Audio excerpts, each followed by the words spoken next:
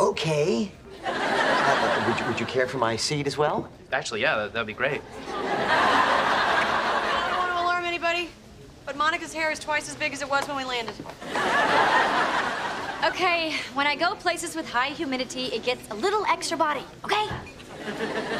That's why our honeymoon photos look like me and Diana Ross. Come on, I'll show you guys where to check in. Oh, honey, can you uh, make sure we get a king-size bed? Oh, David, get one for us too. Oh, and, and see if they have a heart-shaped one. And with mirrors on the ceilings. And, and, and make sure our room isn't next to theirs.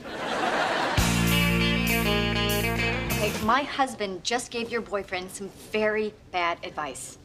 Okay, David's gonna propose to you tonight. Wow, really? That's fantastic. What? Are you serious? Well, you want to marry him? What, what about Mike? Oh, okay. You want me to marry Mike?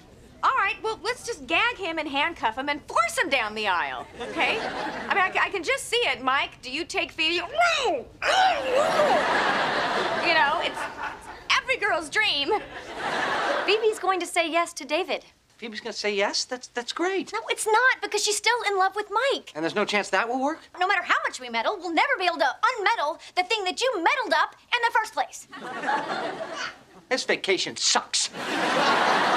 Phoebe, um, I have uh, s- something I want to say. Now that we're together again, I don't ever want to be apart. So, to that end,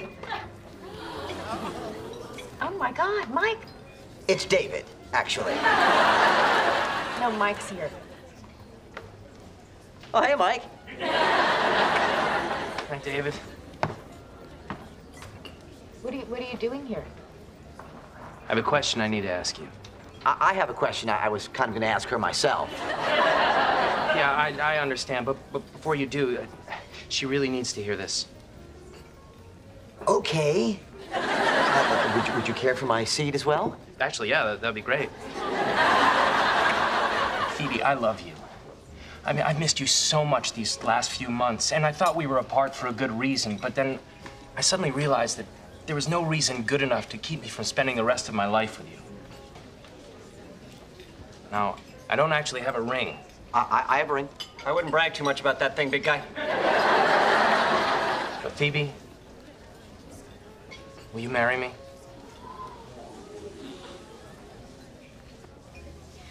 No. Um, haha.